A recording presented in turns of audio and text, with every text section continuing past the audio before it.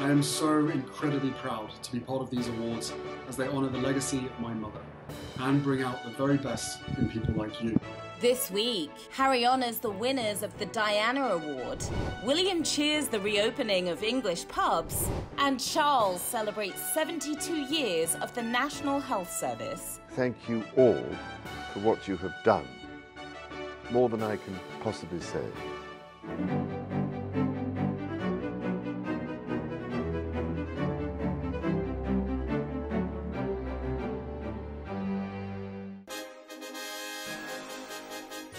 Welcome, welcome, welcome to the Royal Report, everyone. I'm your host, Sharon Carpenter. It's been another busy week for the royal family, so let's get right to the news. Last week, in her ongoing effort to speak with world leaders during the COVID 19 crisis, the Queen had a phone call with President Trump According to White House spokesman Judd Deere, Her Majesty and the President reaffirmed that the UK and the US stand together in what has long been known as their special relationship and will emerge from this trying time stronger than ever before. On Wednesday, in honor of Canada Day, William and Kate talked via video chat with staff members from Fraser Health Surrey Memorial Hospital in British Columbia. During the call, the royal couple heard about the struggles facing frontline workers and praised their hard work during the global pandemic.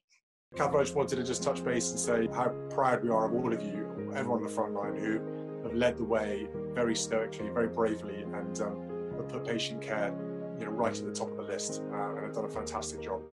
That same day, Harry delivered a surprise video message during the virtual ceremony for the Diana Award, which honors young people who have created and sustained positive social change.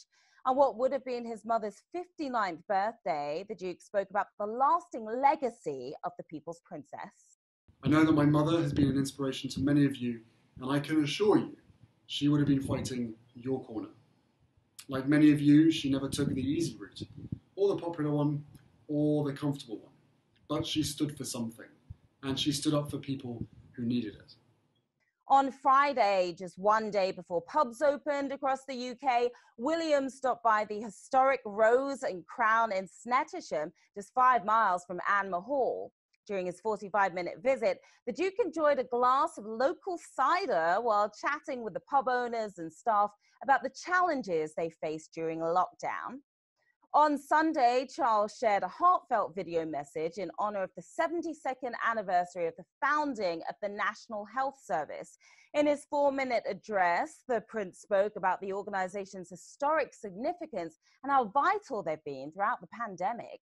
On July the 5th, 1948, just four months before I was born, Trafford General Hospital opened its doors, providing care to all according to their need not their ability to pay.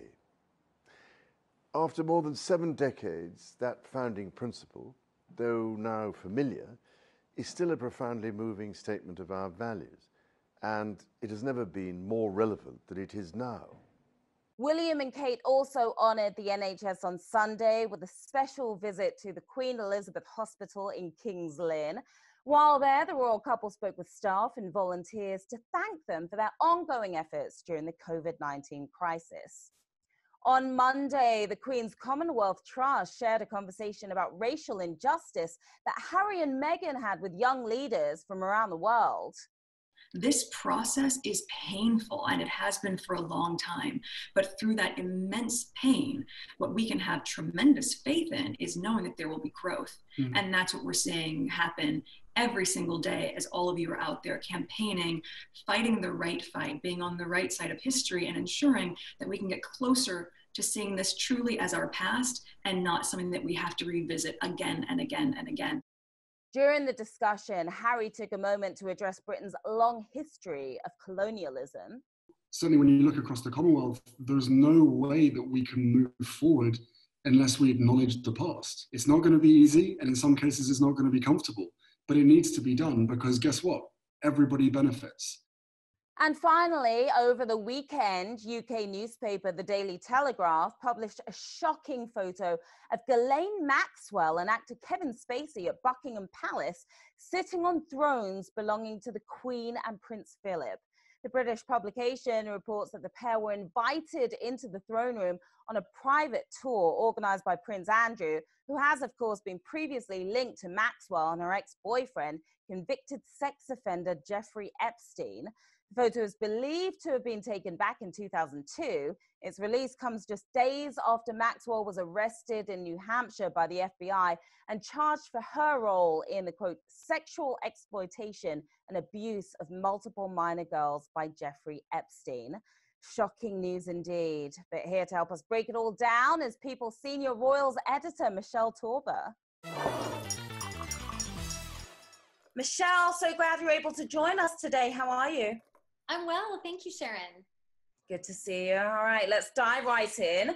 As we just mentioned on Saturday, just two days after the arrest of Ghislaine Maxwell, a British socialite and alleged accomplice of convicted sex offender Jeffrey Epstein, the Daily Telegraph published a photo of Maxwell and Oscar winning actor Kevin Spacey sitting on the thrones at Buckingham Palace.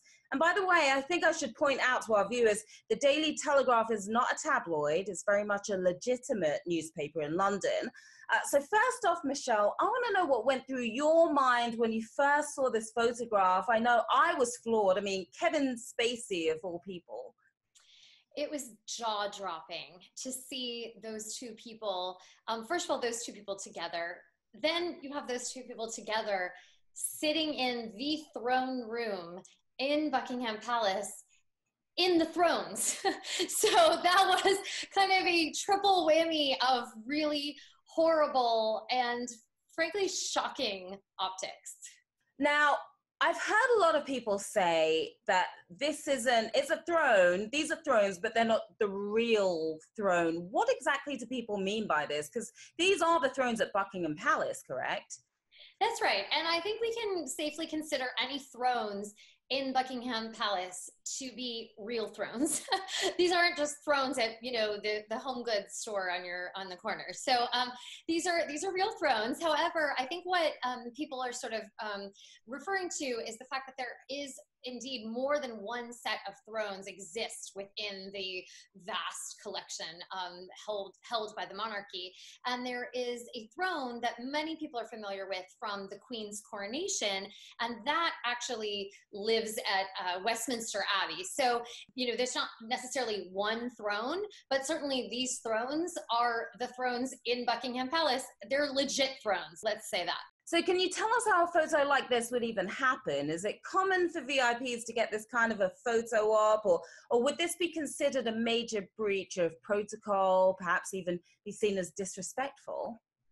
Well, it's not common at all. And there's a reason why everyone was gasping when they saw this photo. There, there's several reasons. Um, but among them is the fact that you don't see this hardly ever, if ever, um, do we see people posing. You know, it's sort of like, you know, they were taking this like ultimate royal selfie. Um, and these are uh, chairs, thrones that would be roped off with the proverbial like you know red velvet rope that you're picturing in your mind. Um, they are not something that um, anyone would be expected to sit in. Um, and they are considered you know historic artifacts. So it's not something that would would be in any way uh, an appropriate use of the thrones who, regardless of who you are unless you happen to be queen elizabeth and prince philip Wow. So I'm very curious. What have you heard from your sources as far as any reaction from the palace? Officially, the palace has not had any reaction. They have not publicly commented. Behind the scenes, we expect that no one was happy at the palace, including Her Majesty. Um, obviously, as we as we said, this is a really bad look um, for for everyone involved, frankly. Um, and you know, as the Telegraph reported, our understanding is that um, the visit was arranged by Prince Andrew, of course, the Queen's second son. Um, so he he's the one with the access, right? So he arranged it for um, former President Bill Clinton, who at that time in 2002 was just a year out of office, was visiting on some some business, and Bill Clinton is a friend of Kevin Spacey's. Of course, this was all before the controversy surrounding Kevin Spacey's own sex scandal. Um, and then Ghislaine Maxwell was a friend of Prince Andrew. So it was this sort of very strange convergence of people um, that Prince Andrew was kind of the common thread um, bringing together for this very um, very un, you know unfortunate frankly photo opportunity which um, the paper also reported that it's not known whether Andrew was in the room when they took the photos, when they were sitting in these thrones. Um, that part hasn't been commented on at all. I was wondering if he might have been the one taking the photo. Right. I mean, I kind of had that thought too. Who who took the picture, right? Um, exactly. But it, yeah, it's it's not known.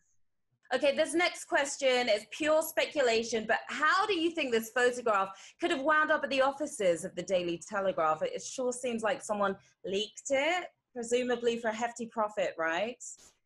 Yeah, we don't know. As you say, it's speculation to, to imagine how it happened. But yes, the, the thinking is the photo was leaked and presumably by someone who is looking to embarrass um, Prince Andrew, to further embroil him in this scandal, um, to embarrass the monarchy and, and any connection that they would have had with Jeffrey Epstein, um, obviously through Prince Andrew, who, who was a friend of his. Um, so it looks to have been a leak meant to cast Prince Andrew in a very bad light now, since last year, the US Attorney for the Southern District of New York has been asking to speak with Prince Andrew about his relationship with uh, Jeffrey Epstein and Ghislaine Maxwell. What are you hearing about this? Do you think this is ever going to happen? Well, you know, on the Prince Andrew side of things, his legal team says he has made himself available and he is very willing to cooperate with authorities. And we're sort of hearing the exact opposite from um, the U.S. Um, District Attorney, who is saying, you know, oh, it's interesting to be, you know, communicated with via these public channels when privately we have not been able to set up any kind of, you know, arrange any kind of meetings um, with with the Duke of York. So I think that it's sort of a, you know, it's it's a it's a he said he said in terms of who's willing to cooperate. And um, right now, it looks like things are at a bit of a standstill. But with the arrest of Ghislaine Maxwell, you know, obviously things can change on a dime. All right. Thank you so much, Michelle, for helping us break down this truly shocking story. Thank you, Sharon. The Royal Report will be right back.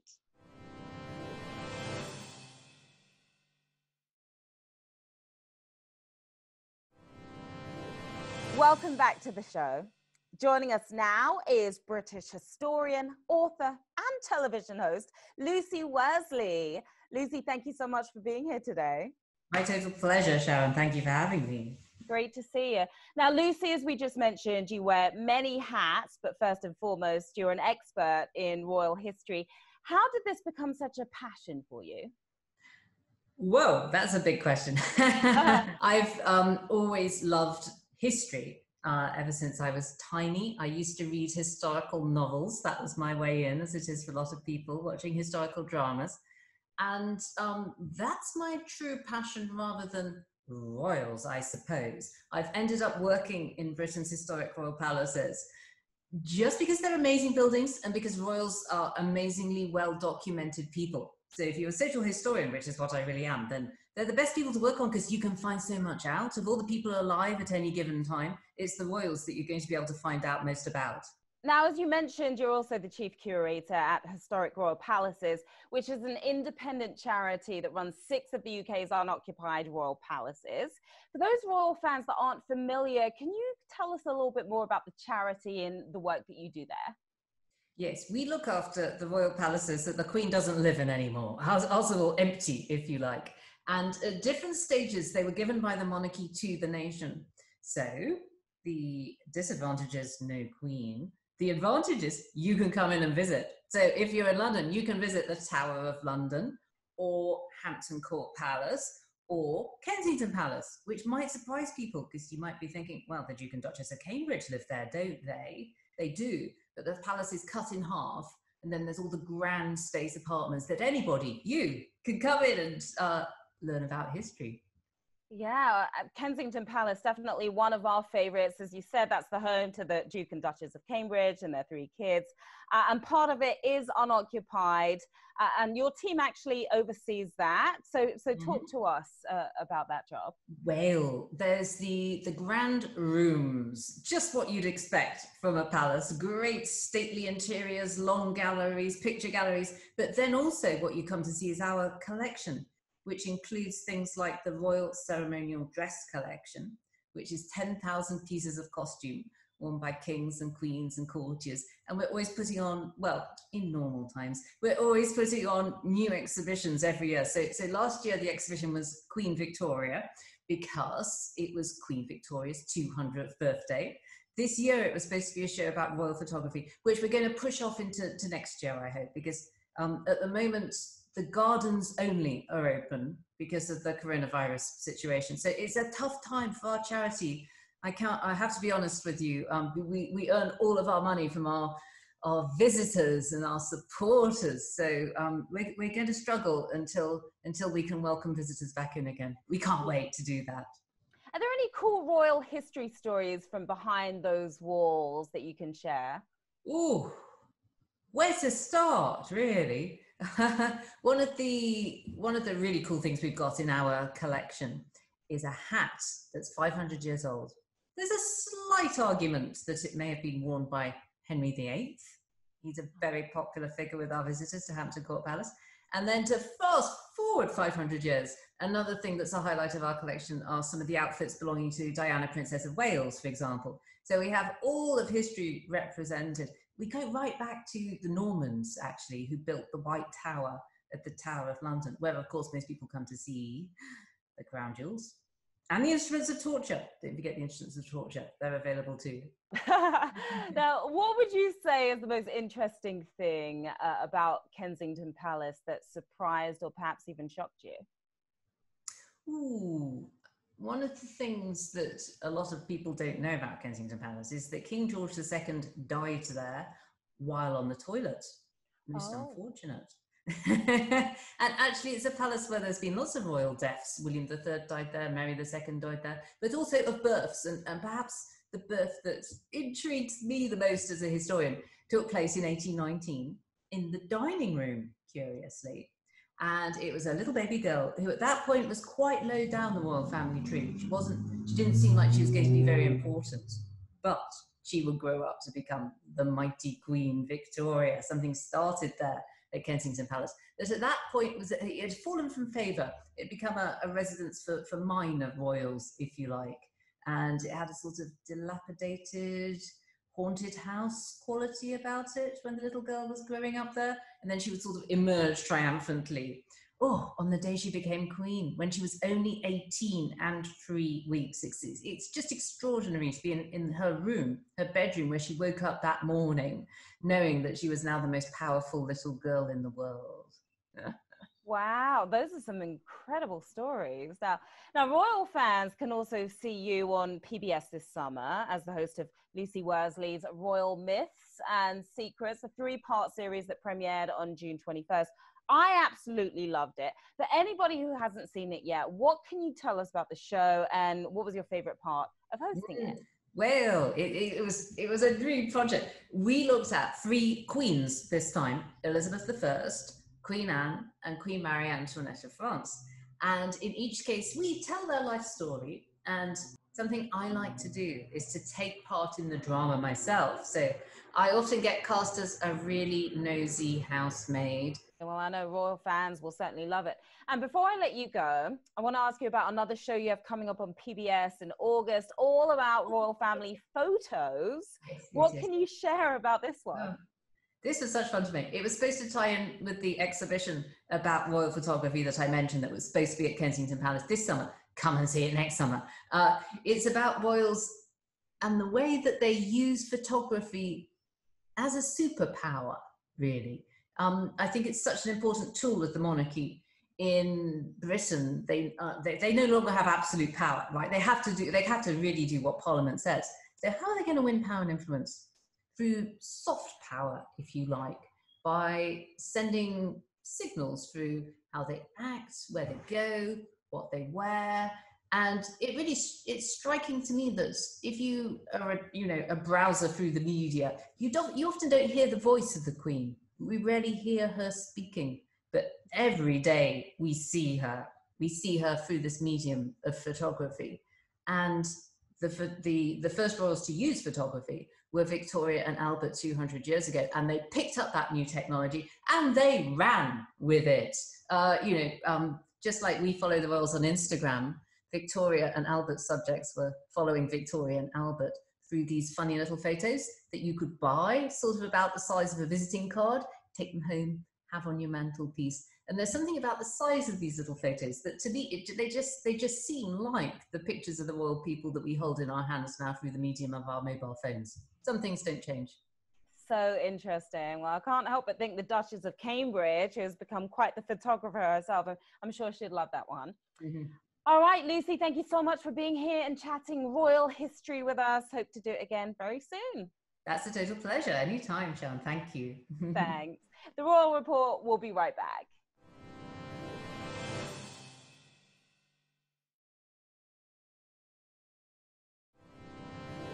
Welcome back. It's time now for our social media minutes with our social media correspondent, Gillian Fleischman. Gillian, how are you doing? Hi, Sharon. I'm doing great. Nice to see you. So, what do you have for us today? What great post this week. Last Monday, to mark what would have been the start of Holyrood Week, which is when the Queen visits Scotland and invites thousands of guests to the Palace of Holyrood, the royal family Instagram story took us inside the Edinburgh Palace and shared interesting facts about its history. One of its most famous residents was Mary, Queen of Scots, and visitors to the palace can still explore her bedroom and supper room. I definitely love to see those in person one day. On Tuesday, Princess Eugenie shared a video call she and her sister Princess Beatrice had with charity Teenage Cancer Trust. They spoke with young people currently receiving cancer treatment to learn how they've been coping during COVID 19. She thanked them for sharing their time and stories and called their bravery extraordinary. Love that she's highlighting such an amazing organization. Last Thursday, the royal family's Instagram shared photos from the recent visit by Prince Edward and Sophie, Countess of Wessex, to salute the NHS, which is striving to serve 1 million meals to NHS frontline workers. The royals thanked all of the volunteers for their efforts and helped prepare food packages destined for workers across the UK. What a great cause! And finally, this past Saturday, the royal family's Instagram posted this picture of Windsor Castle's round tower turned light blue as a moment of remembrance for those who lost their lives during the pandemic. It also served as a tribute to all of those working so hard in support of the National Health Service. The NHS marked its 72nd anniversary this past Sunday, so this post couldn't have been more perfectly timed. And that's your social media minute.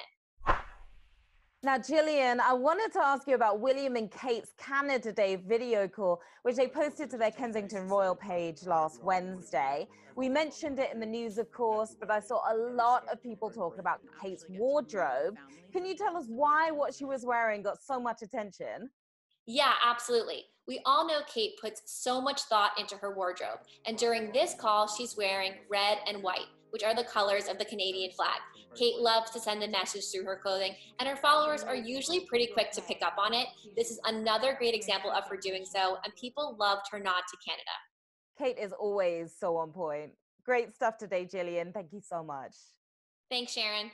Now it's time to bring back one of our old segments because with things finally starting to open up around the country, I think we could all use a little refresher on our royal etiquette. Hi, I'm Myka Meier, and today we're learning the Sussex slant. The Sussex slant is Meghan's go-to pose. She often uses it when she's sitting for a long period of time, and you can use it at home whenever you just want to stay relaxed but look super poised. To master the Sussex slant, all you do when sitting is keep your knees together, then cross one leg over the other. Now the key is to squeeze really tightly so your knees and ankles stay together the entire time. Note that your knees are facing so they're slanted toward one direction. Your toes are pointed forward. One foot is technically not touching the floor during this pose. The biggest don't for the Sussex slant is never to let your ankles come apart so they stay really close, touching the entire time. This is Meghan's take on the famous royal sitting poses. Now, it might not be the most comfortable of poses if you're shorter in stature, but she loves it because she's got long legs and can really master it. Remember, knees and ankles firmly squeezed together, and that, Royal Watchers, is the Sussex slant. That was friend of the show, Myka Meier. Myka, thank you so much. All right, Royal Watchers, that's our show for today. Remember to follow people on Twitter to watch the latest episodes of the Royal Report, streaming every Wednesday at 5:30 p.m. Eastern. I'm Sharon Carpenter. Stay safe, keep calm, and carry on.